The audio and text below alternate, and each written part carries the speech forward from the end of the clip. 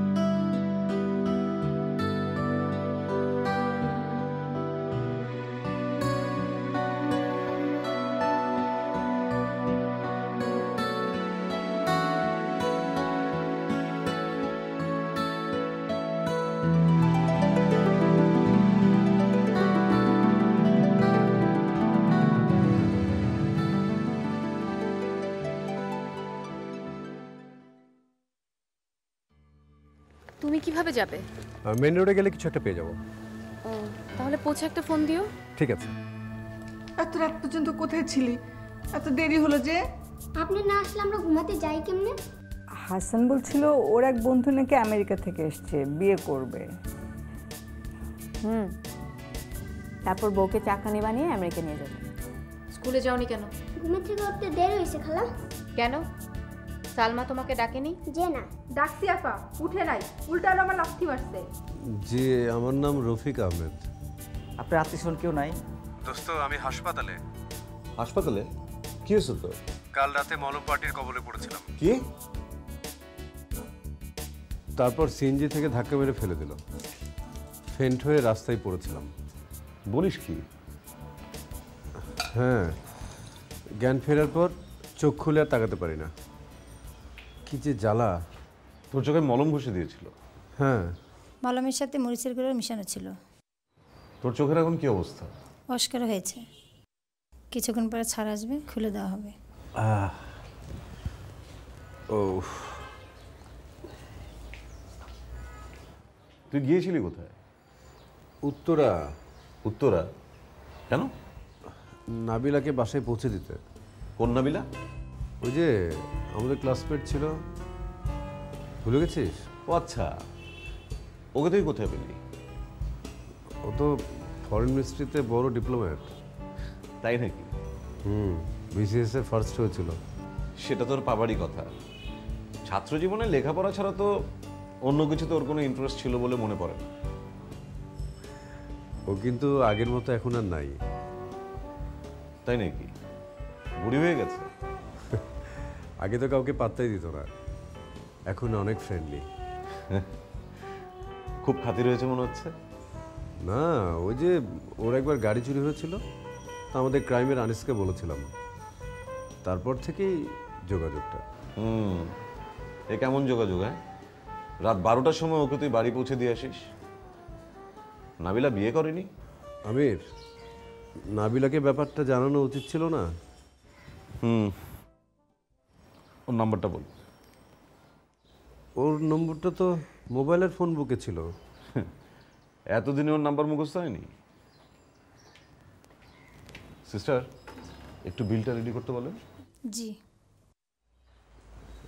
আমির আমার পকেটে কিন্তু একটা টাকাও নাই। সেটা নিয়ে তো তোকে চিন্তা করতে হবে না। আচ্ছা তোর বাসায় তো কেউ নাই এখন?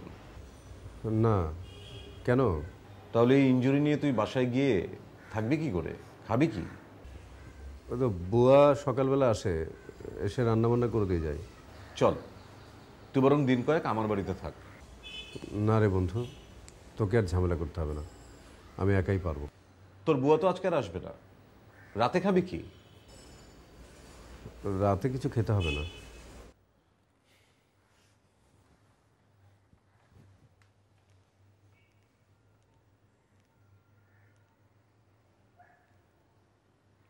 হ্যালো ভাইয়া হ্যাঁ এই শোন তো। মাকে একটু বল চিকেন স্যুপ তৈরি করে রাখতে। কি বলছো? বুঝতে পারছি না। তুই এখন কোথায়? আলী আছে। কেন? আচ্ছা ঠিক আছে তুই রাখ ফোনটা রাখ।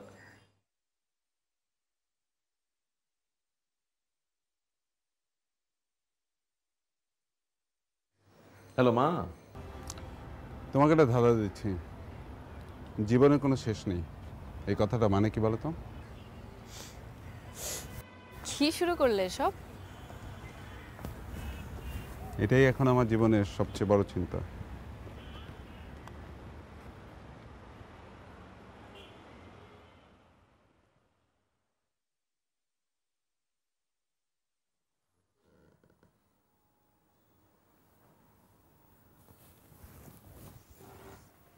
যাও।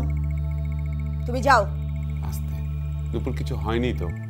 যাও বলছি। যাও এখান থেকে। আচ্ছা ঠিক আছে। আমি যাচ্ছি।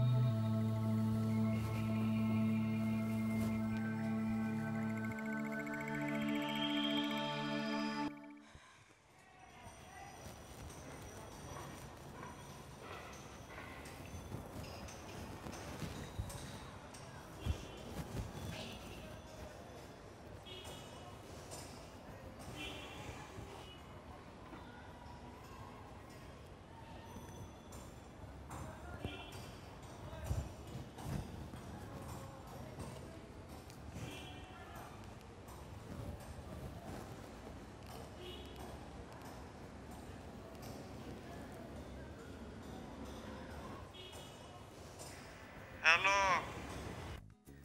জি এবার আমার মোবাইলটাকে আমাকে ফেরত দিবেন ওস্তাদ? না। না? কিন্তু কেন? আমার জিনিস আমারে ফেরত দিবেন না কেন?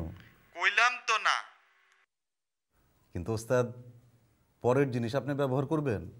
আপনার পাপ হবে না ওস্তাদ। আপনি কি আমার লগে আল্লাহ তামাশা করেন? আপনি এখন কোন এলাকায় ওস্তাদ? সারগে তো ইয়া ওস্তাদের আস্তানা চিনোস না বাকসালা দেখেছিস? কত টাকা যে বিল তুলো কে জানে?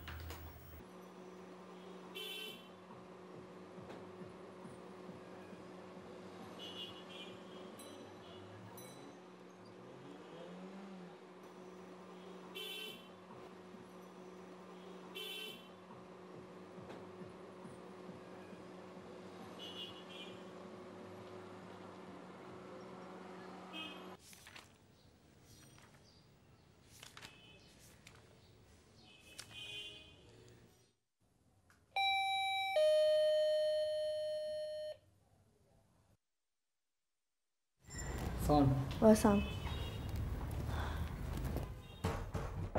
আমি সাহেব আছে? জি না কেউ নেই। কোথায় গেছে সব? রবি স্যারের চিন্তা হয়েছে। তাই নাকি? কবে? সঠিক বলতে পারি না তো। আমি স্যারের মোবাইলে ফোন দিলে সব কিছু জানতে পারবেন আচ্ছা। আমাকে একটু পানি খাওয়ানো যায়? জি আপনি স্যারের নিয়ে বসেন আমি দিতেছি। ও একটু চাও খেতে চাই। জি চা আছে কোনো সমস্যা দৈনিক সকালের ফোন নম্বরটা কি তোর মোবাইলে আছে? একটু ফোন করি।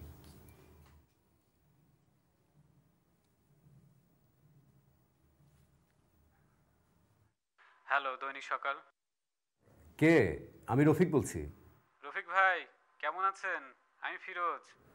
হ্যাঁ ফিরোজ ভালো। আচ্ছা অফিসে কি ক্রাইম ডেস্কের আনিস আছে? আছে দিব। দেন না প্লিজ। হ্যালো আনিস কেমন আছেন? ও রফিক ভাই কই আপনি? খুব নাকি টিভি সিরিয়াল লিখতেছেন চেষ্টা করছি। শোনেন আপনাকে যে জন্য ফোন করেছি। জি বলেন। আপনার মোবাইলে কি আমার নাম্বারটা আছে? জি আছে। কাল রাতে আমার মোবাইলটা ছিনতাই হয়ে গেছে। বলেন কি? আপনি কি একটু দেখবেন কার হাতে এখন? আর মোবাইলটা এখনও চালু আছে। চিন্তা হলো কেমনে? আর বলবেন না। চোখে মলম ঘষে দিয়ে চলন্ত সিএনজি থেকে ধাক্কা মেরে রাস্তায় ফেলে দিয়েছে। ও আচ্ছা ঠিক আছে আমি দেখছি। আপনি একটু দেখবেন কেমন? জি জি। Okay bye. Thank you. দেখবি আনিস ঠিকই বের করে ফেলবে।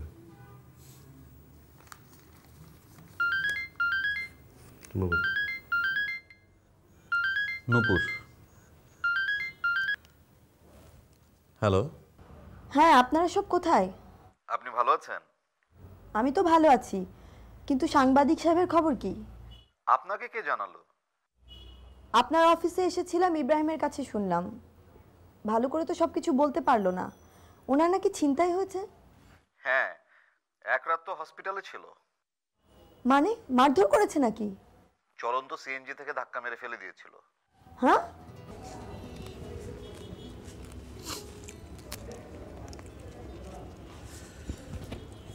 রেখে দেন।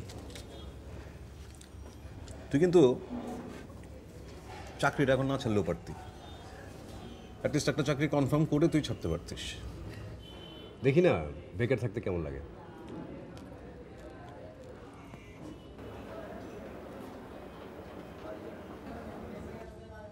আপনি তো সাংঘাতিক মানুষ। বসেন। কেন? সাংঘাতিক কেন? এত তাড়াতাড়ি আমাদের খুঁজে বের করে ফেললেন। ঘটনাটা ঘটলো কীভাবে? উত্তরা থেকে ফেরার পথে। উত্তরা? নাবিলাদের বাড়ি গিয়েছিল। নাবিলাকে বাসায় পৌঁছে বাসায় ফেরার পথে? কি? আপনি নাবিলাকে পৌঁছে দিতে গিয়েছিলেন? তাও আবার রাত বারোটার সময়। হাসছেন কেন? আমাকে নিয়ে ঠাট্টা শুরু করেছেন?